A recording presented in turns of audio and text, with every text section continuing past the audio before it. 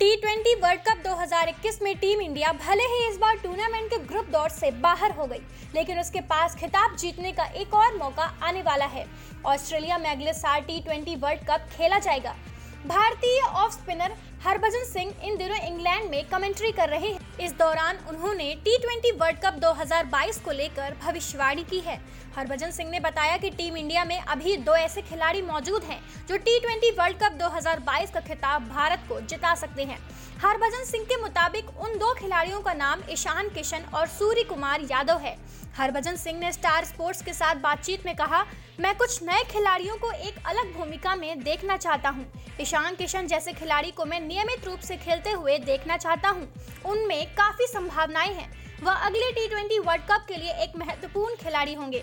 मुझे लगता है कि उन्हें ज़्यादा से ज़्यादा मौके दिए जाने चाहिए। हरभजन सिंह ने इसके बाद नंबर चार पर सूर्य कुमार यादव को खेलने की बात कही है।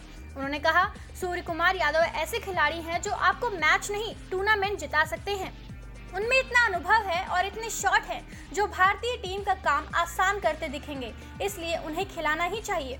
सूर्य कुमार यादव एक ऐसे खिलाड़ी हैं जो किसी भी फॉर्मेट में फिट हो सकते हैं। उनके जैसा खिलाड़ी किसी भी स्थान पर बल्लेबाजी कर सकता है। उनके पास 360 डिग्री का खेलने का टैलेंट है। बता दें कि टी ट्वेंटी वर्ल्ड कप पहले साल 2020 में होना था, लेकिन कोरोना की वजह से इसे दो साल के लिए टाल दिया गया था।